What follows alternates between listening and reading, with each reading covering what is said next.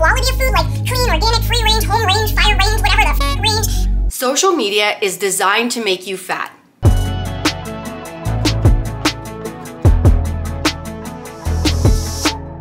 And it is so frustrating. Like the last few days, every time that I went on social media, all I seen, it was full of weight loss and fitness influencers spewing a ton of misleading information. They have each their own set of ideas and ways to lose weight with their own very set of very specific rules that you have to follow. And that leaves people all over the world struggling and stuck in fear because they have no idea where to move. They're so overwhelmed and so confused at all the information and they don't know what to do. And why I'm so pissed off about this is because I used to be morbidly obese. I weighed 275 pounds and I struggled for years to try to lose the weight and I kept failing. Now, when I was struggling, there wasn't a lot of social media, but it was the same, it was media spewing the same crap, except mine mostly came from magazines, radio, newspapers, television, but it was the same stuff. And what happened, spewed the same crap and then left me confused, overwhelmed, scared, stuck, having no idea where to go or if I could ever get the results that I wanted and save my life because I was morbidly obese. I'm making this because social media is even worse. I could put down a newspaper or a magazine or turn off the radio. Social media never turns off. At any moment, you can turn on your phone, flip open your computer, and there it is, baby, all over the world, all hours of the day. Crap. And what does it do? Every friggin' minute, it adds more crap and more rules. And hey, you ever thought of water fasting? Oh, calories never sleep. Being overweight, it's because I'm eating not healthy. Oh, I better not eat at 7 o'clock, but I'm allowed to eat at 5 o'clock. And, and If I just eat the proper quality of food, like clean, organic, free range, home range, fire range, whatever the frick range, then I'll get the results. Then I'll be perfect. I'll be like those fitness influencers and I'll look great and I'll have abs and it is so stressful and compassion and my heart goes out to people that are struggling because I have been there. On top of social media and all these fitness influencers and stuff and a lot of them I don't think realize that they're offering confusing information because it might be working for them and in their head that's what makes sense to them.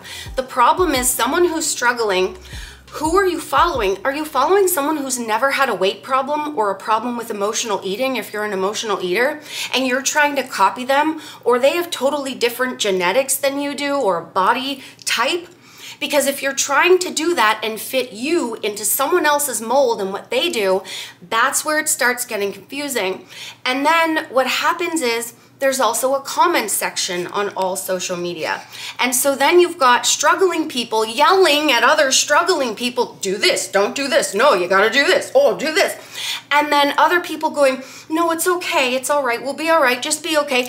And then you've got more advice being given, and then people are getting more confused. And so what happens is the social media is instilling this fear in people because they now have access to all this information. And then, so you have all these how to's and all, you can Google anything, anything you want, and you'll learn how to do it. The problem is, there's so much information, it causes people to freeze because they're like, I got everything in the world, I got all this information at my fingertips, but I don't actually know how to do it. And if I do it, what if I don't do it in the perfect structure that they've set and follow all the rules? And what if I eat past seven o'clock at night? And what if I'm hungry in the morning? Or um, what if I want carbs, but I'm not supposed to eat carbs? And then they're like, whoa. It causes, then what happens is they're like, okay, it's over, um, you know, eating unhealthy food is making me overweight, so I'm gonna only eat healthy food.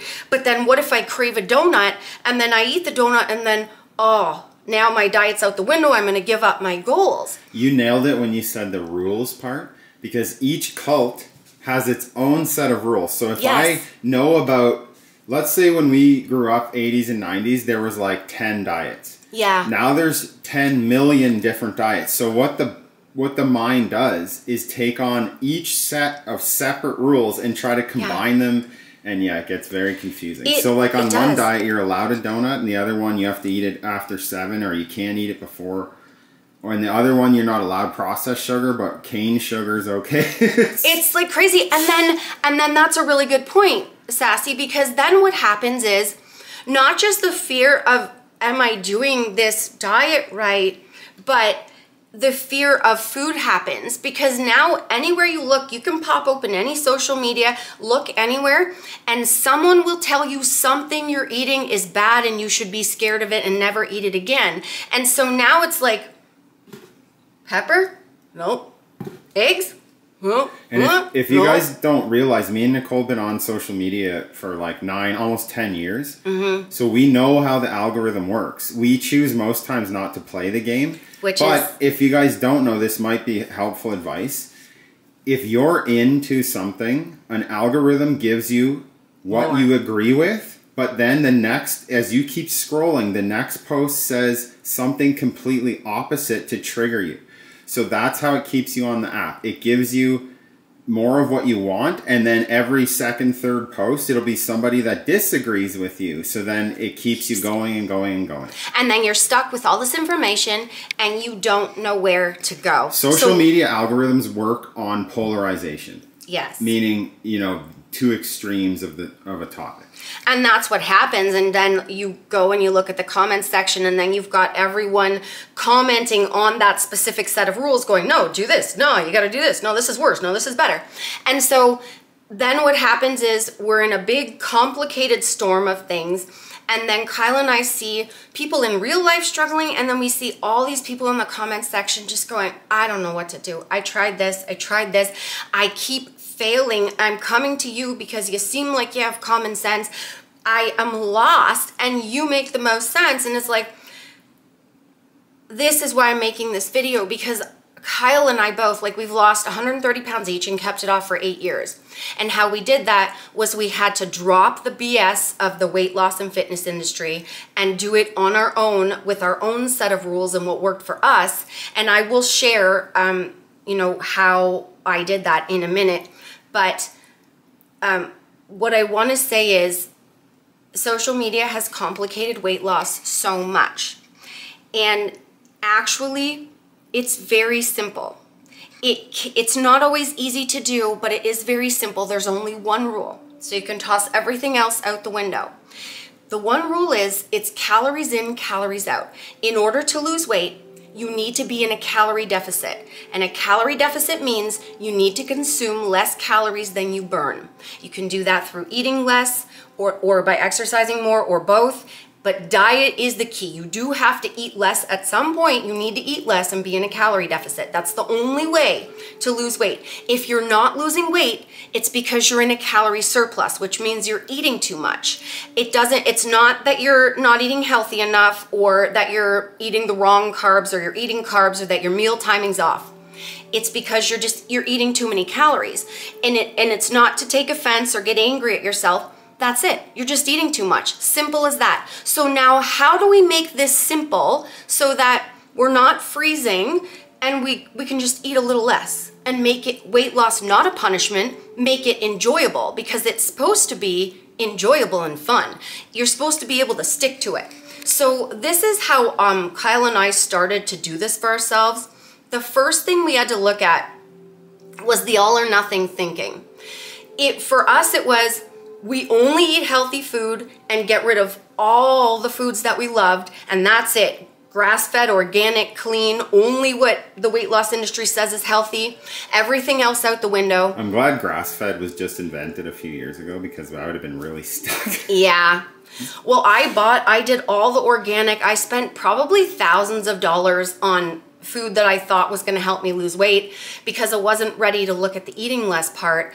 And the all or nothing thinking, all it did was get us in trouble, meaning we would chuck everything out the window and only eat healthy, only follow the rules. And that was it. If we broke them, if we ate a cookie, the diet was over, and then it would trigger our emotional eating, and then it would just end up in this never ending cycle. So we had to stop doing the all or nothing and say, what if we did both? What if we ate a balance where most of our diet is full of nutrients? You know, we're eating healthy fats, protein, carbs. Sometimes it'll be like the regular white kind. Most of the time, slow digesting ones like whole grains so that it helps us feel full. Fruits, veg, protein, drink lots of water um, enjoy treats on top of that. So you're eating mostly nutrient dense food, but also enjoying treats, not getting rid of anything. Not all or nothing, but a combo. We did the same thing with exercise. So before, Yes. when we were struggling, it was exercise like a maniac or do absolutely nothing and sleep on the couch all day. And at 275 pounds, and Kyle was 375, physically, we really couldn't do a lot of exercise. We weren't fit enough. The only thing we could do was walking, but we were forcing ourselves to try to do this stuff that we just couldn't do. So finally, we did a balance. We decided on a balance of food, including our favorite foods and lots of nutrient dense food. And then we walked and we just set up a goal 15 minutes every day, rain or shine, get out there. We needed to take a lot of breaks because we both had a lot of like heel and leg and foot problems and stuff because of our weight. We just took breaks and eventually we were able to go through. And to get the ball rolling, when we say we did like ate a little less, that's what we mean, a little bit less. We Yes. still ate a whole bag of chips. We just split it into two bowls. And that is my number two. And for exercise, move a little bit more, not going crazy, just a 15 minute walk. 15 minutes. So the next thing we did is exactly what Kyle said. We started to make slow, small changes.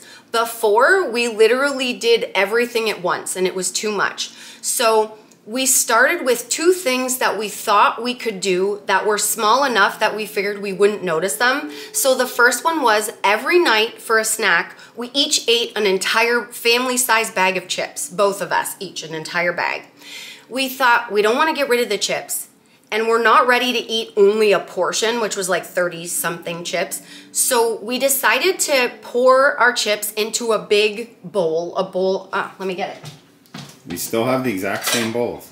This is literally the bowl. So we poured uh, the bag into here. Yeah, we got two of these. Yep, we each we each got one, and then when you know my bowl was done, that was it. So instead of eating the entire bag, I was eating a big bowl. Automatically, I was eating less. So I was going into a calorie deficit because instead of a bag every night, I was doing a bowl. So I was saving myself probably a few hundred calories. I wasn't counting calories or anything or tracking. I was only just eating a bowl instead of a bag, and so was Kyle. And we were starting to get results like that because it was sustainable.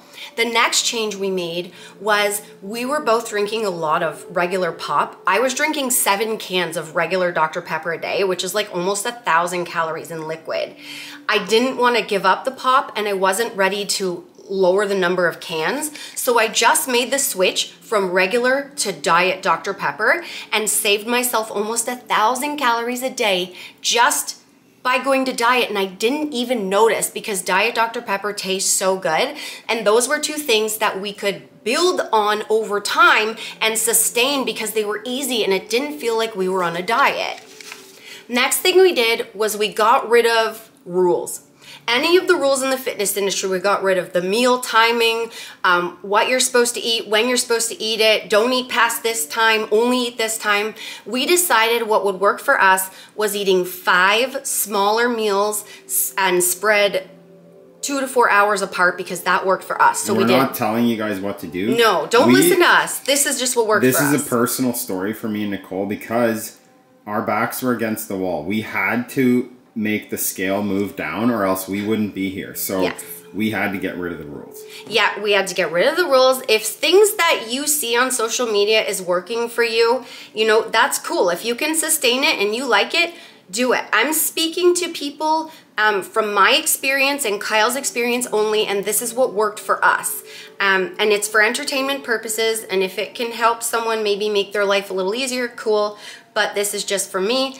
Um, so we did breakfast, lunch, dinner, and two snacks, and we spread it two to four hours apart because it made us feel like um, we were staying fuller longer by spreading it out throughout the day, and it was helping us not overeat at night. And by enjoying things, all food groups, everything on the table, that really helped. the next thing we did was we had to stop labeling food. All we did was label food healthy, unhealthy, bad, and good. And the problem with the labeling was anytime that I would eat something that I said was unhealthy or bad, I would think that I was bad and unhealthy. So I would be putting myself down and it would just trigger my emotional eating and cause me to go in a never ending cycle. This is why you see so much virtue signaling with people's diets and other things online, but we won't get into that. But no. Why you see so much virtue signaling online about the perfect diets and what's the perfect food to eat is because of just that. When people see like subconsciously what goes on is when they see people label good and bad food they're good and bad yes. if they eat that which is not the case. No and and that was the problem. So then anytime i would eat anything that i looked at as bad i would feel bad think i was bad and then the guilt would trigger a whole bunch of throwing my diet out the window and emotional eating and all that stuff. So getting rid of the labeling and looking at all food as on the table. Most of the time choosing nutrient dense food, but including treats as part of that balance, as part of my healthy. I made my own healthy for myself because for me, healthy was not being morbidly obese. If I stayed at that weight and continued on the way I was, I would not be here, like Kyle said. So for me, eating a balance the way that I wanted to and I needed to was my healthy. And then how we did it was we got into a calorie deficit with the small changes, but also by choosing foods we loved in a balance of a nutrition plan and portioning out the food. So portion control is what helped us lose the weight. And basically how we started was we looked at the serving sizes on the backs of packages and we used those as a guide. And then we, you know, we make up a meal plan of what we liked, use the serving sizes, weigh ourselves at the end of the week. If we lost weight, we knew the portions were working and we'd use them for the next week. If we gained weight or didn't lose, then we would pull back very slightly in our portions and then try again until we found what worked. And so those are the things that we did. That's how we dropped the BS. We threw all the social media and weight loss industry rules out the window, made our own what worked for us, and saved our lives. Um, weight loss should never feel like a punishment. If you don't like what you're doing, you don't have to do it that way. Cherry pick from people, find things that you're like, hey, okay, this might work for me, but don't copy. You don't know who you're watching. They might not ever had a weight problem and you do and you're trying to follow someone who the standards just they're not the same you know so and so many people i'll go on the other like side too like there's so many fake natties on the internet, mm-hmm. guys and girls. So that's a whole other hidden thing where yes. they're showing their abs and muscles and they're taking special vitamins. Yes, and that's a good point. And they're directly lying to you saying they're natural. They're not. Yes, and that is a big thing. There are lots of people taking stuff to look as good as they do. And so then you're putting yourself up to their standards, comparing yourself to them when you're never gonna look like that I'm never gonna look like that even if I took what they were taking because my body does not work that way. So, um, cherry pick Use your intuition, your gut. You have the answers inside of you. Trust yourself. You know what you like to eat and what you like to do for exercise. Do that so that you can sustain what you're doing and enjoy what you're doing. And if you want to know the exact portions and meals that I ate to lose the weight, you can buy my weight loss ebook called The First 50. The link's down below and code Nicole will save you 10%. I also um, have this cool stuff. It's called Hoodled. I call it Hoodled. It's actually HTLT but best protein powder ever. They also have a ton of other supplements, but they have a holiday, like a seasonal flavor, um, hot chocolate, and it really does smell and taste like hot chocolate. And then I find like fruit cereal doesn't get talked about enough at our house, Sassy. This is actually quite delicious. Oh, I love it. Yeah, but often I show you the luckier marshmallow, but there's a fruit cereal. So Code Nicole will save you 10%. The link is down below. Watch this vid and this vid for more fun, sustainable weight loss tips from two real friends losing weight in the real world where we're being honest with ya. You can make it less complicated. It's okay to love it. Stop making it so hard, honey. We love ya. Thanks for your support and for watching. We really love you. Be gentle on yourself and love your food and do this when you're eating your food. Like, yeah. That part's optional. Yeah. Oh no, you gotta do that. I love it. I love my breakfast. I love my dinner. Do it. Okay. Love you. Peace. Catch you in the next feed. Cute. Da. Rooney. Put a bowl on my head. Bye. Remember the friends that weight loss isn't just about the number on the scale. It's also about here and here. Heart and mindset. Fight through it. You can do it. Don't give up.